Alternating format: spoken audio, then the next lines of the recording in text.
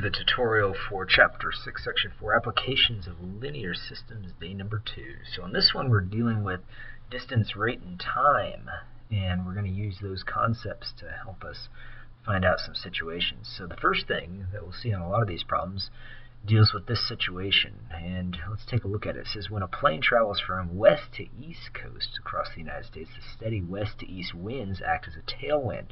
So most of our weather comes from the west and goes towards the east.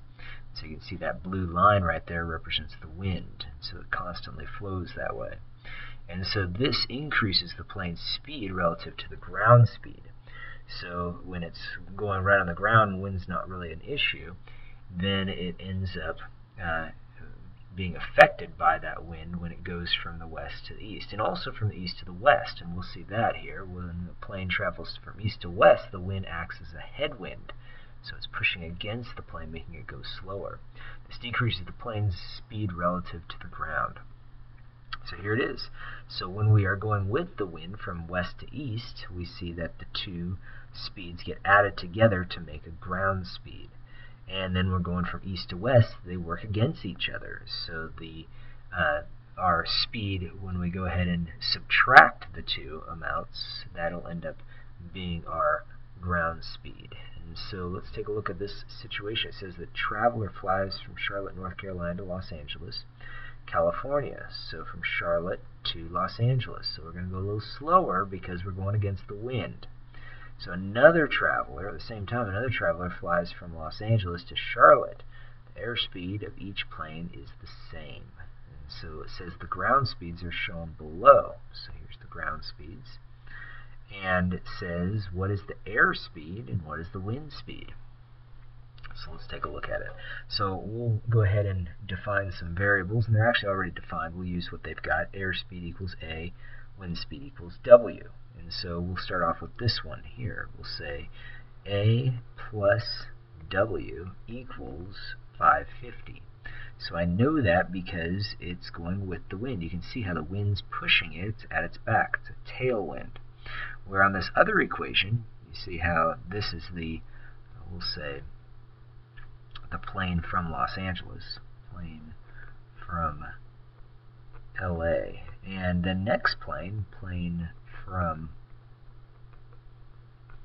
we'll go with Charlotte, is going to end up being this way, A minus W. So A minus W, because the wind speed, the wind is working against the airspeed of the plane, and that ends up giving us a slower, a slower amount, because we know that two A's are equal, we just don't know what that is. But we know when we go ahead and subtract the wind speed from the airspeed, we end up with 495. When we go ahead and add the two, it makes 550. So we're ready to solve this equation. We can add it together the way it's at right now. So that leaves us with 2A equals 1045.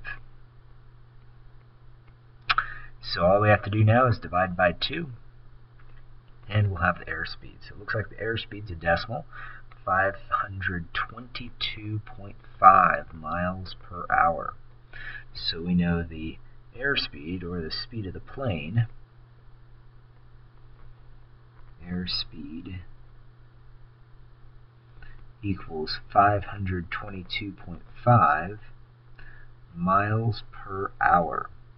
So now we take that value and substitute it back into one of the equations. So we'll do 522.5 plus A, or plus W equals 550.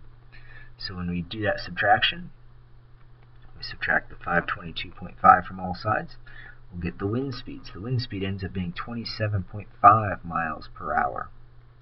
So we'll write that down to the side here. Wind speed is 27.5 miles per hour. So those are the two answers for that problem. Let's take a look at another type of problem here. It says you will you row upstream at a speed of 2 miles per hour. So when we're dealing with a river, we have the same sort of situation. See, here's the river, and we've got the current is going in one direction. And the boat, if it's going against the current, then you can see how the boat is going to end up going slower. But if the boat was going with the current, the boat would end up going faster because the current is pushing it. So we have the same sort of situation as the wind speed. So you row up, upstream at 2 miles an hour. So and then it says you travel the same distance downstream at 5 miles an hour. What would you what would be your rowing speed in still water? Still water means without the current. So what's the boat speed is what they're asking for. So that just means boat speed. And then what is the current speed? So let's go ahead and define some variables. I'm going to use R equals the boat's rate in miles per hour, and maybe I'll use C for the currents.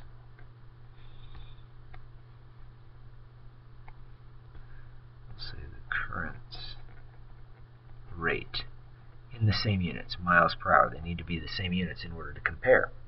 So we'll set up the equation this way. R, and then since we're going upstream, we're going minus C. Minus C because, again, we went upstream. That's going to slow us down.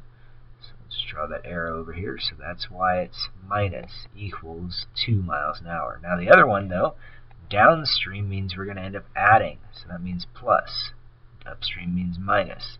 So it's going to be R plus C equals 5. So when we add these together, the c's cancel out. And I'm left with 2r equals 7. So it looks like r is 3.5 when I do that division of 2. So that's miles per hour, and we can go ahead and say boat boat speed equals 3.5 miles per hour. So now we're going to take that 3.5 and substitute it back in. So I've got 3.5 and then plus c equals 5. So I'll subtract that 3.5 from all sides. That's going to give me what c is, 1.5 miles per hour. So the current speed is 1.5 miles per hour.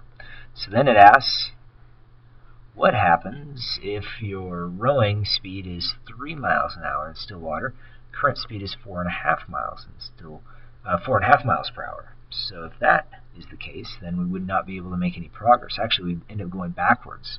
So we can say you'll go backwards.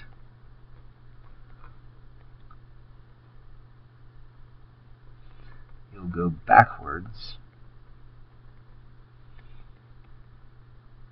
if your boat speed is less than the current's speed. So let's take a look at this next one. So with a tailwind, a bird flew. Okay, so well, bird is the same thing as going to be the airplane type problem, which is the same as the boat problem as well. So with the tailwind, the bird flew at ground speed of 3 miles an hour. So let's go ahead and define some variables. We'll go with r equals the bird's speed in miles per hour again, and we'll say that we'll go with w equals the wind speed. And this is also in miles per hour. So going with the wind, because it's a tailwind, it's r plus w. So tailwind means plus. So r plus w equals 3. And then it says flying the same path against the same wind, the speed, the ground speed was only 1.5. So r minus w equals 1.5. So when we add this together, in, we end up with 2r equals 4 and a half. So when we do that division, r is 2.25 miles per hour. So we can say the rate, the bird's speed bird's speed is 2.25 miles per hour. So we find the rate of the wind. We just have to substitute in 2.25 plus W is going to be 3. So that tells us the W value, the wind speed, is only 0.75 miles per hour. So we'll say wind speed equals 3 quarters, 0.75 miles per hour. So those are the types of problems you're going to see on tonight's homework.